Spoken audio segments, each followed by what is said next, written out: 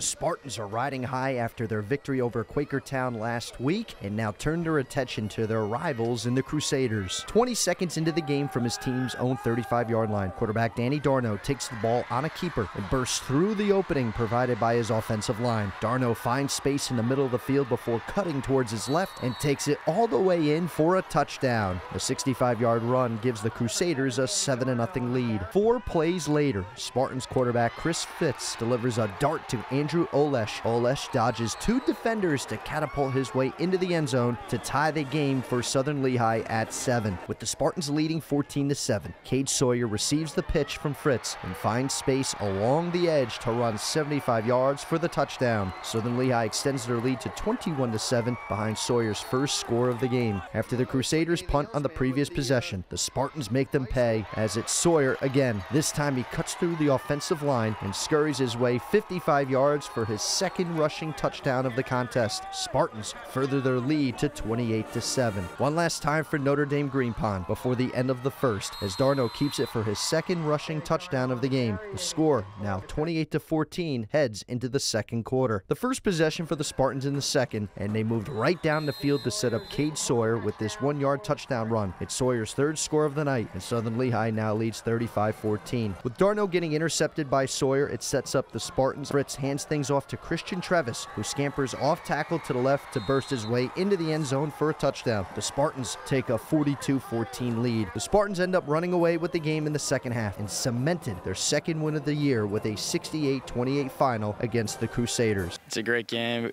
We, we just got to cut down on the mistakes, but this is a huge win.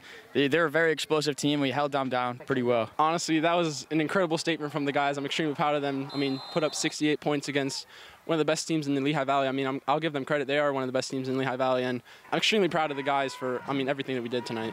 Yeah, it's unique when you score in all three phases uh, on special teams, defense, and offense. So it's, it's um, you know, shout out to the kids, number one, and to the coaches. The coaches did a phenomenal job um, coming up with game plans and, and, getting it done. Defense corner Craig Sutyak, special teams, offensive line, every, everybody did a fantastic job, and the players obviously executed it and did fantastic. All three phases of the game clicked for the Spartans in their victory over the Crusaders, and like any other team team. They try to chase perfection game in and game out.